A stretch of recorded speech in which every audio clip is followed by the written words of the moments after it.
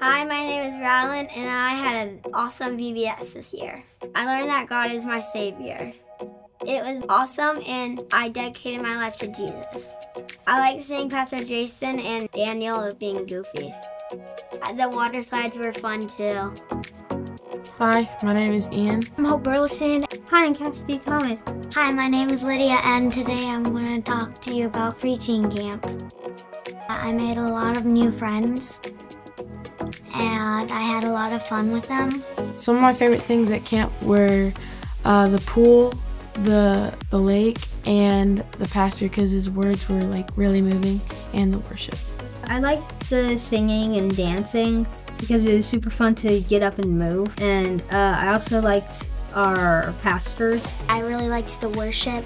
Um, I felt it was a really inspirational time for me and for the pastor just flowing things about Jesus. I enjoyed the vlog because my friend made me do it and it was fun. Usually I don't really do those kind of things, but I was braver than I thought I was. We usually go like to the pool or the lake or the river or whatever, something like that. And then after that, we go to the rally and we worship.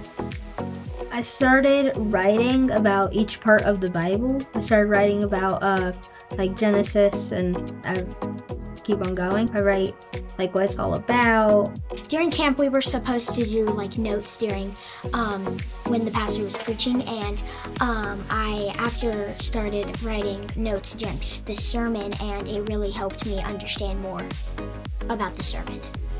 At camp, God told me how to be a, a leader and more mature. I can speak up more for myself. I can be brave and not just be in the corner. I learned that I can get closer to Jesus. I just have to pray and worship. I learned that even if I uh, have a strong relationship with God, it can always keep growing and growing and growing and growing. Uh, I think that's a really fun experience for anybody to go to. I enjoyed it. I liked it. I really enjoyed it and I hope that people watching this video uh, would go. I want to go back and it was amazing time.